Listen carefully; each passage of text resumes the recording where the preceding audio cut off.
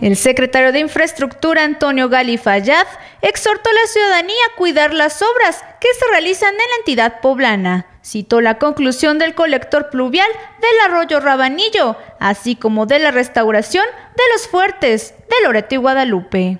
Concientizar a los poblanos para no grafitear toda esta zona nueva también de los fuertes, no ocupar estas nuevas obras para el vandalismo. Es patrimonio de cada uno de nosotros. Nosotros somos los dueños de Puebla, señores. Entonces, eh, denunciemos a alguna de estas personas.